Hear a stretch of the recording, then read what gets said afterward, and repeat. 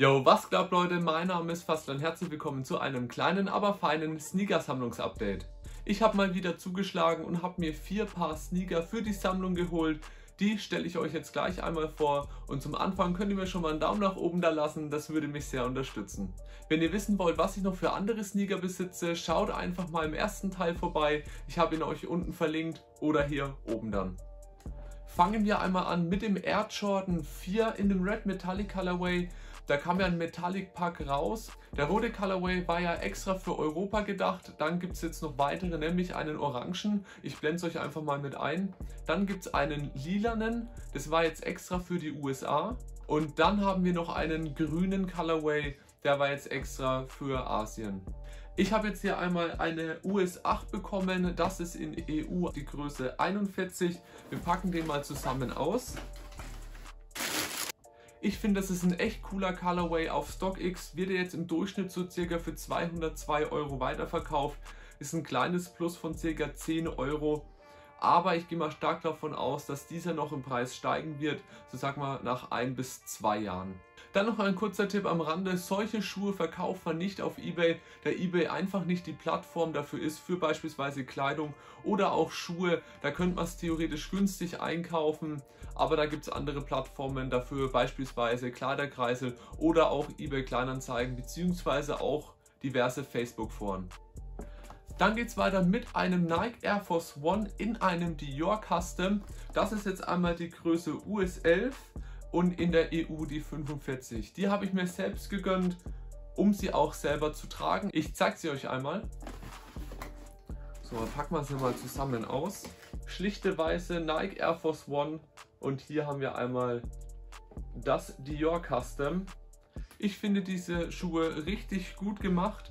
Vor allem kam ja in dieser Zeit, wo ich mir die gekauft habe, auch der Jordan in der Kollabo mit Dior einmal raus. Da gab es ihn einmal ja in der High-Top-Variante und einmal in der Low-Top-Variante. Ich blende euch einmal da die Bilder mit ein und der High wird im Durchschnitt zu ca. für 9000 Euro verkauft und die Low-Variante wird im Durchschnitt zu ca. für 6 bis 7000 Euro verkauft und da finde ich, ist das auf jeden Fall eine günstige Alternative. Und ihr könnt gerne mal in die Kommentare schreiben, ob ihr euch den Air Jordan in der Kollabo mit Dior einmal geholt hättet. Falls ja, hättet ihr den selber getragen oder geresellt. Und jetzt sind wir einmal in der Mitte des Videos angekommen und da gibt es natürlich wieder einmal Informationen zu einem Instagram Giveaway, das ich gestartet habe. Link dazu ist einmal in der Bio. Es gibt einmal zu gewinnen jeweils eine Lego Minifigur aus der Serie 18 und wir haben noch einmal dann geht es weiter mit einem Handtuch, nämlich von Adidas X Stella McCartney. Und zu guter Letzt gibt es noch einmal diese neue Pokémon Tin Box zu gewinnen. Was ihr dafür tun müsst, seht ihr natürlich auf Instagram. Und weiter geht's!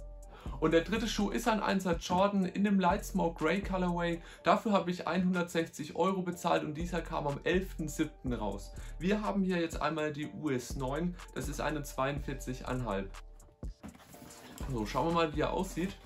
Hier haben wir ihn einmal im Detail und wie ich finde, ein sehr, sehr gelungener Colorway, gefällt mir auf jeden Fall sehr gut. Dieser Schuh wird bei StockX im Durchschnitt für ca. 220 Euro verkauft, hat man schon mal einen leckeren Gewinn von 60 Euro.